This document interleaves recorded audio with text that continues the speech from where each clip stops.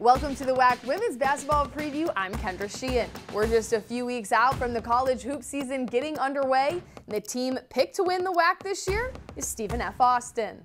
The Lady Jacks feature preseason all-WAC selection Ayana Johnson, who averaged 13.9 points per game last year, helping to guide SFA to WAC regular season and tournament titles, and a trip to the NCAA tournament for the second year in a row.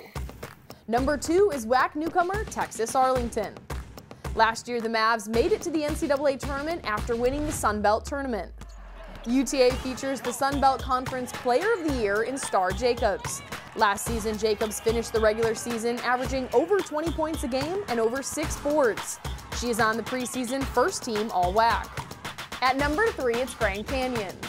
The Lopes feature preseason first team All WAC player Aaliyah Collins, new to the program after transferring from Chicago State. The Lopes won over 20 games last season, making it all the way to the WAC Tournament Championship. California Baptist is picked fourth. The Lancers are now eligible for an NCAA postseason title after completing the transition period from Division II. CBU features WAC standout freshman Trinity San Antonio, who was named to the preseason first team. Abilene Christian is picked fifth, followed by WAC newcomer Southern Utah. The Thunderbirds feature preseason first team All WAC selection Tamika Whitman. In seventh, it's Sam Houston. The Bearkats feature preseason first team all WAC selection Madeline Batista, who averaged over 10 points per game for the Bearkats last year.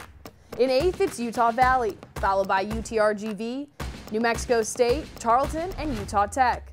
Seattle U rounds out the poll. For a complete list of the all-conference team and awards, including media selections, head to our website, wacsports.com. For the WAC, I'm Kendra Sheehan.